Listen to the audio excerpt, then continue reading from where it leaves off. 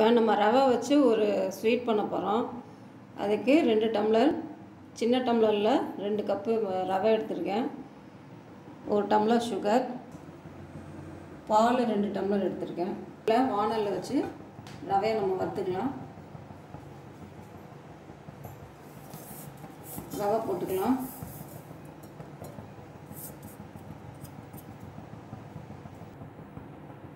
கொஞ்சமாக நெய் விட்டுக்கலாம்.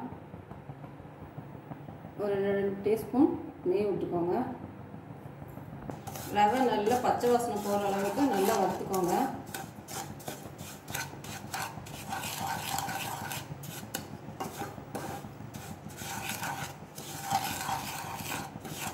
இது நல்லா குலோப்ஜாம் மாதிரி இருக்கும். சாப்பிட்றதுக்கு டேஸ்ட்டாக இருக்கும்.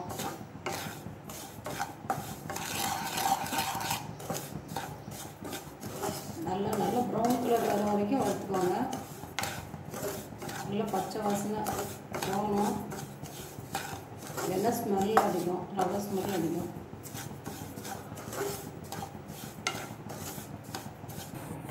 கொஞ்சமாக சால்ட் போட்டுக்கோங்க. இவ்வளோண்டு சால்ட் இருந்தால் போதும்.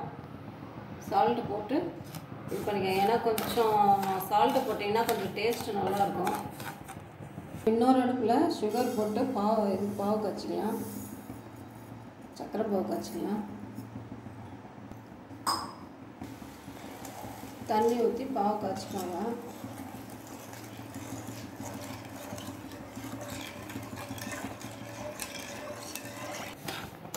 ரவையை நல்லா வறுத்தாச்சு. இதோட பால் சேர்த்துக்கலாம். காய்ச்சி ஆற வச்சின பால். இதோட சேர்த்து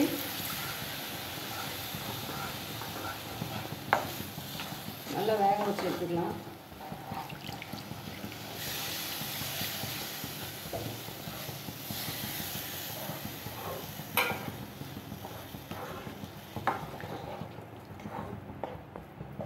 இதோட கொஞ்சம் ஏலக்காய் சேர்த்துக்கோங்க. ஏலக்காய் தூள் சேர்த்துக்கோங்க.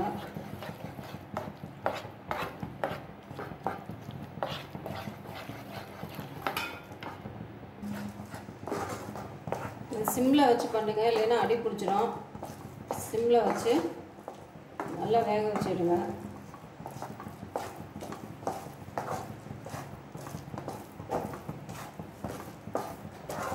அங்கே இந்த மாதிரி கெட்டியாக இருந்துச்சு இதை வந்து நம்ம சின்ன சின்ன உருண்டையாக உருட்டிக்கலாம்.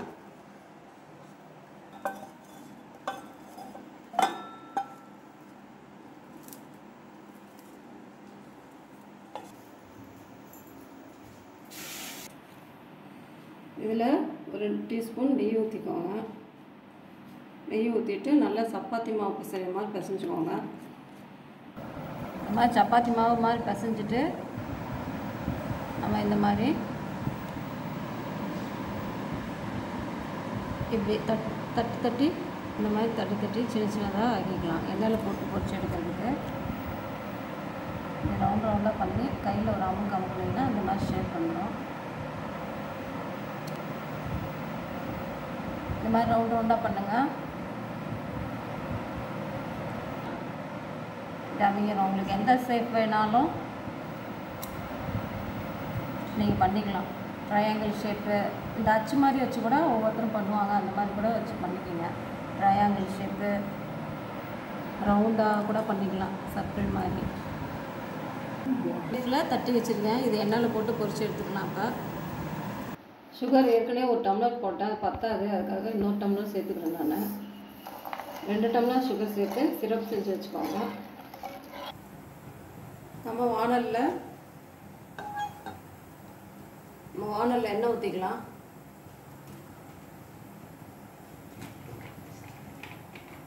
அடுப்பில் வானல் வச்சு எண்ணெய் ஊற்றிருக்கோம் அதில் நம்ம செஞ்சு வச்ச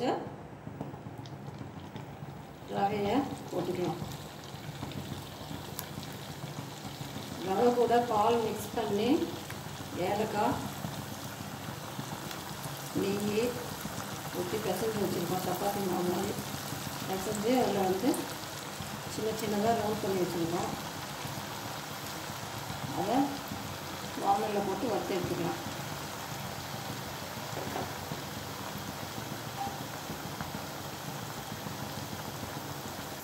இன்னொன்று ஒளி இப்போ ப்ரௌன் ஆயிடுச்சு நம்ம எடுத்துடலாம்.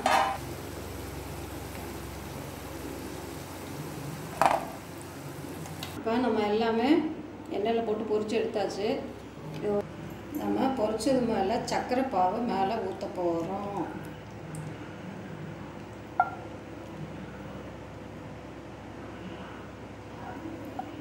இது நல்லா சர்க்கரை பாவோட பதினஞ்சு நிமிஷம் மிக்ஸ் ஆகி வந்தால் நல்லா சாஃப்ட் ஆயிரும்.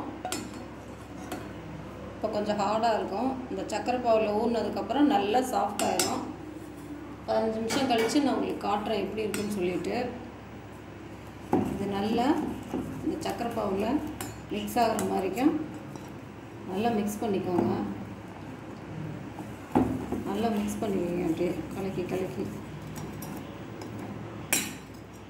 அப்படியே ஸ்வீட் குலோப்ஜாம் மாதிரி இருக்கும்.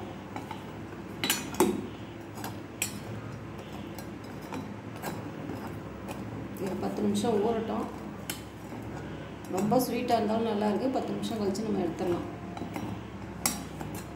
ரொம்ப நேரம் ஸ்வீட் வேணுன்றவங்க ரொம்ப நேரம் கழித்து கூட எடுக்கலாம். லைட் ஸ்வீட் வேணுன்றவங்க ஒரு பத்து நிமிஷத்தில் எடுத்துருங்க.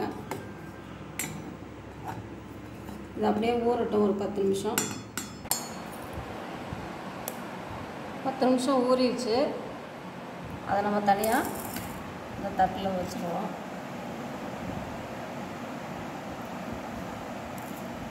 அப்பம் மாதிரியே இருக்கும். இனிப்பு அப்பம் மாதிரி ரவா இனிப்பு அப்பம் மாதிரி இருக்கும். ஒவ்வொருத்தரும் குலோப்ஜாம் மாதிரி இருக்குன்னு சொல்லுவாங்க. ஒருத்தர் யார் என்ன வேறு பேர் வேணாலும் வச்சுக்கோங்க. ஆனால் ரவையில் ஒரு ஸ்வீட் அவ்வளோதான் நல்லா சாஃப்டாக இருக்கும் உள்ள. நீங்களும் சாப்பிட்டு பாருங்கள் நல்லாயிருக்கும் பிடிச்சிருந்தால் லைக் பண்ணுங்கள் ஷேர் பண்ணுங்கள் சப்ஸ்கிரைப் பண்ணுங்கள் பக்கத்தில் இருக்க பெல் பட்டன் கிளிக் பண்ணுங்கள் தேங்க்யூ